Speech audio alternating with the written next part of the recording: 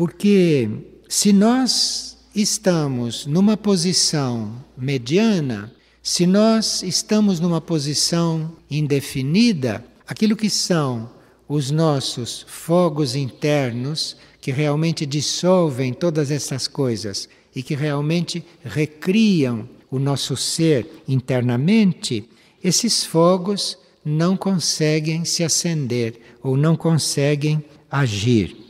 Então nós não temos que ter uma posição meio termo diante destas coisas.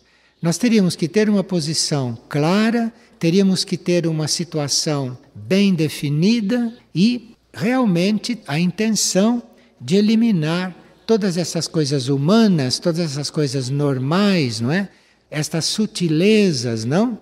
Que no fundo são autocomplacência, que no fundo são uma tendência de nós estarmos inertes, parados naqueles pontos em que já estamos acomodados.